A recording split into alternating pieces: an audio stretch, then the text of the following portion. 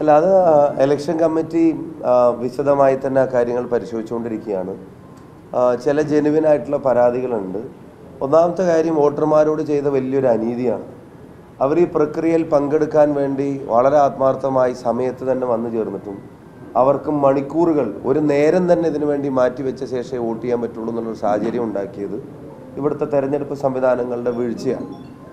U D F election committee അത് serious ആയിട്ട് ഏറ്റെടുക്കുന്നുണ്ട്.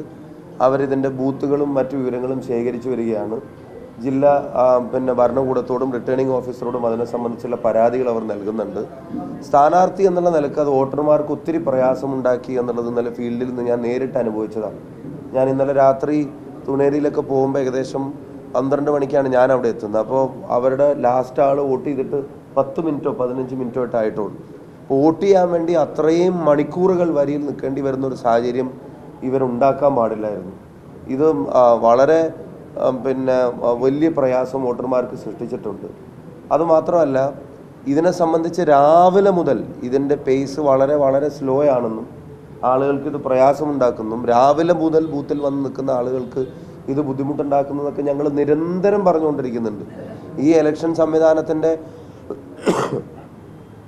എല്ലാ റാങ്ക് ആൻഡ് ഫയലിലും ഞങ്ങൾ ഈ കാര്യം കമ്മ്യൂണിക്കേറ്റ് ചെയ്യുന്നുണ്ട്. പക്ഷെ അത് സ്പീഡപ്പ് ആക്കാനുള്ള ഒരു ശ്രമമോ അല്ലെങ്കിൽ അതിനുള്ള ഒരു ഇടപെടലോ അത്തരം ഒരു ഒരു സിൻസിയർ ആയിട്ടുള്ള അപ്രോച്ചോ പലയിടങ്ങളിലും കണ്ടില്ല എന്നുള്ളതാണ്. പക്ഷെ എനിക്ക് ഒരു കാര്യത്തിൽ സന്തോഷമുണ്ട്. വടകരയിലെ ജനതയുടെ ജനാധിപത്യ ബോധം ആ പ്രയാസങ്ങളെല്ലാം അതിജീവിച്ചും അവരിൽ ഭൂരിഭാഗം പേരും വോട്ട് രേഖപ്പെടുത്തിയിട്ടാണ് പിരിഞ്ഞു പോയത് എന്നുള്ളത് ഈ ജനതയുടെ ജനാധിപത്യ ബോധത്തോട് വലിയ ആദരവ് എനിക്ക് തോന്നുകയാണ്. പിന്നെ ആർക്കെങ്കിലും വോട്ട് ചെയ്യാൻ പറ്റാതെ പോയിട്ടുണ്ടോ എന്ന് ഉൾപ്പെടെയുള്ള കാര്യങ്ങൾ വിശദമായി പരിശോധിക്കേണ്ടതാണ്. യു ഡി എഫിന് സ്വാധീനമുള്ള സ്ഥലങ്ങളിലാണ് ഇത് കൂടുതലായിട്ട് സംഭവിച്ചതെന്നുള്ള പരാതി യു ഡി എഫ് കേന്ദ്രങ്ങളിൽ നിന്ന് ഞങ്ങൾക്ക് ലഭിച്ചുകൊണ്ടിരിക്കുന്നുണ്ട്. ഇന്നലെ രാത്രിയും ഇന്ന് കാലത്തൊക്കെ ആയിട്ട് ഞങ്ങൾക്ക് ഫോൺ കോളുകൾ വല്ലാതെ വന്നുകൊണ്ടിരിക്കുന്നുണ്ട്. അപ്പോൾ അത് ഞങ്ങൾ പരിശോധിക്കും. അത് പരിശോധിച്ച് ഞങ്ങൾ അതിന്റെ പിന്നെ ബാക്കി കാര്യങ്ങൾ ഫോളോ അപ്പ് ചെയ്യും. ഒരു ഉദ്യോഗസ്ഥ തലത്തിലൊക്കെയുള്ള പിന്നെ അട്ടിമറി സാധ്യതകൾ ഇത്തരം കാര്യങ്ങൾ നടന്നിട്ടുണ്ടോ എന്നുള്ളത് യു ഡി എഫിന്റെ ഇലക്ഷൻ കമ്മിറ്റി പരിശോധിച്ച ശേഷം അതിലൊരു ക്ലാരിറ്റി വരുത്തി പറയും.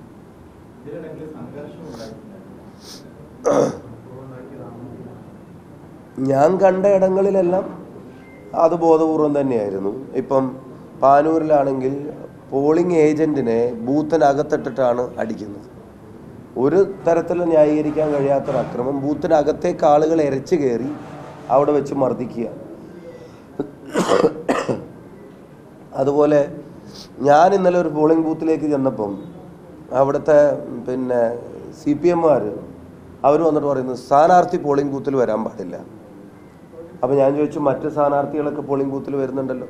അല്ലാതെ ആറു മണി കഴിഞ്ഞോണ്ട് ഞാൻ പറഞ്ഞു ആറു മണി കഴിഞ്ഞിട്ടും എന്റെ പിന്നെ എതിർ സ്ഥാനാർത്ഥി ഇപ്പോൾ കൊയിലാണ്ടിയിലെ പത്ത് നാനൂറ് ആൾ വരി നിൽക്കുന്ന ഒരു ബൂത്തിലുണ്ട് എന്ന് പറഞ്ഞിട്ട് ഞാനും കൂടെ അവിടെ ചെല്ലണം എന്ന് പറഞ്ഞിട്ട് എന്റെ പ്രവർത്തകർ വിളിച്ചിരുന്നു.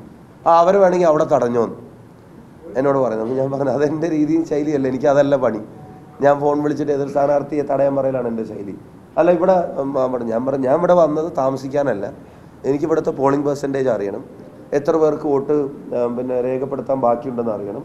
എത്ര ശതമാനം വോട്ടായി എത്ര വോട്ട് ചെയ്തു എന്നുള്ളത് അറിയണം. പിന്നെ അത് നിങ്ങളുടെ പോളിംഗ് ഏജന്റ് വഴി ചോദിച്ചു. ഞാൻ പറഞ്ഞ സ്ഥാനാർത്ഥിയാണ്. എനിക്ക് പിന്നെ ഈ പ്രിസൈഡിങ് ഓഫീസറോട് ചോദിക്കാനുള്ള അധികാരമുണ്ട്. അപ്പോൾ ഞാൻ എന്ത് ചെയ്തു? ഞാൻ നേരെ ഒബ്സർവറെ വിളിച്ചു.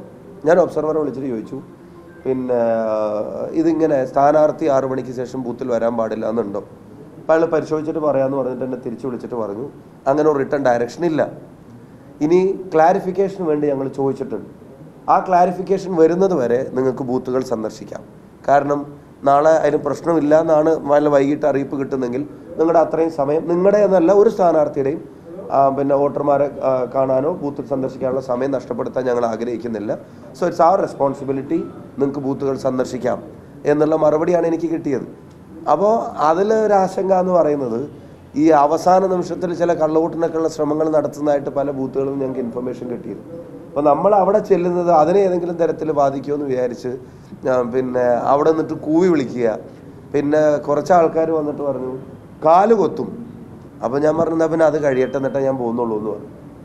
കാൽ കൊത്തലുണ്ടെങ്കിൽ അത് കഴിയട്ടെ എന്നിട്ടേ ഞാൻ പോകുന്നുള്ളൂ. ഞാൻ ഒരു പ്രകോപനം ഉണ്ടാക്കാൻ ആഗ്രഹിക്കുക അല്ലെങ്കിൽ ആ ഒരു സീന് ഞാനത് ആഗ്രഹിക്കുന്നില്ല. തിരഞ്ഞെടുപ്പ് പീസ്ഫുള്ളായിട്ട് നടക്കണമെന്നാണ് പക്ഷേ ഒരു പ്രിസൈഡിങ് ഓഫീസറെ സ്ഥാനാർത്ഥി കാണുന്ന പറയുമ്പോഴത്തേക്ക് വെട്ടും കൊല്ലും കാൽ കൊത്തും എന്നൊക്കെ പറഞ്ഞാൽ അപ്പോൾ അതൊക്കെ വളരെ ഇന്റൻഷനലി ഉണ്ടാക്കിയ സാധനം. അതൊന്നും ഞങ്ങളെ ബാധിച്ചിട്ടുള്ള കാര്യമോ ഞങ്ങളുടെ ജയസാധ്യതയെ ഏതെങ്കിലും തരത്തിൽ ബാധിക്കാൻ പോകുന്ന കാര്യമായിട്ട് ഞങ്ങൾക്ക് അനുഭവപ്പെട്ടിട്ടില്ല.